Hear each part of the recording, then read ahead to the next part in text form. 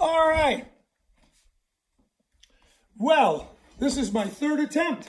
So, you know, you have to have a good attitude if I'm going to do this three times. I'm here with my lovely assistant. You, she's over in the corner. And I want to thank Megan Walsh for the opportunity to do this. So here we go. What do we got? Okay. Name, age, where you live, and what you do for a living. My name is Robert Wuagneux. I live in Castleton, Vermont. Uh, my age is timeless. I'm a septuagenarian, but I'm timeless. I like to feel as though I could fit in any era at any time. And I'm a global educator as well as a minister, um, but also very, very, very wrapped up in music. I love music, and music is a way of life. Music is a way to connect. Music is a vibe. So here I am, vibing out for you guys during this isolation period. Who would you like to thank? I'd like to thank my family who are just absolutely super duper wonderful people. My daughter Brianna, my son RJ, my daughter Jennifer, and my grandchildren Lily and Dylan. Um, we don't see each other, obviously, because of the situation, because they live in distant places, but we do stay connected. And I think that's one of the most important things, is staying connected. And more importantly, staying connected with yourself during these times of insanity. What's the dumbest fight you've gotten into? Dumbest fight I got into was deciding where do we put the walnuts, on top of the whipped cream or under the whipped cream in our chocolate pudding.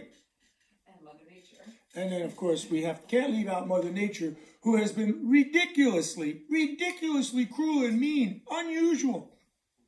For this time of the year, we've had snow, wind, rain, and almost sometimes all three at the same time out on the trail because I do work out on a regular basis. I, I do three times a week, at least five plus miles and 200 push-ups.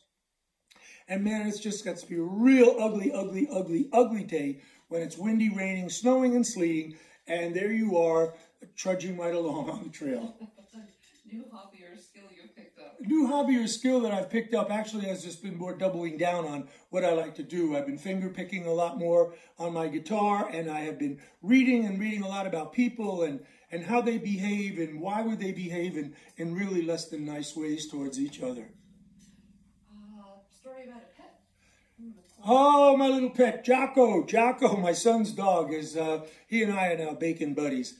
There's nothing, I don't think there's anyone who can possibly not succumb to uh, Black Lab's look in his face that says, Don't you want to give me more bacon? I mean, there's no way around that. So, yes, my favorite little pet story is watching Jocko wag his little tail with a mouthful of bacon. What's your favorite go-to quarantine? My favorite go-to quarantine exercise is the trail. Uh, as I said, it's five and a half plus miles, and also my 200 push-ups. I, I do that regularly. To me, it's it's about the most important thing I can do for myself during the week. On the bench. Oh yeah, and on the bench, where most people sit down on the bench, I wind up using the bench as my prop for doing push-ups. And then they look at me and like, what's up with this guy? And sometimes they walk right by me and don't sit on the bench because I'm busy doing push-ups. But believe me, I am so, so, so, so, so ready to share because I know how nice that bench can be. Your best impression of leading Zoom chat. Yeah, Zoom. I'm leading a lot of Zoom chats because I've been teaching a lot of classes uh, around the world on Zoom. Uh, my favorite move from Zoom, I think you will see that when I try to find the off button to this video. I think you'll get a really good idea on how I deal with Zoom. What's your best guilty pleasure in the quarantine? Uh, my best guilty pleasure is doubling down on all my pleasures, which are ice cream and pizza and potato chips and uh, pasta and you name it. If it's there, I eat it. and your weirdest quarantine outfit? My weirdest quarantine outfit is for now, because it, it varies, and those who know me know that I wear outfits. But this is, says Wicked Pissa. So I live in New England. If you're a Yankee fan, tough.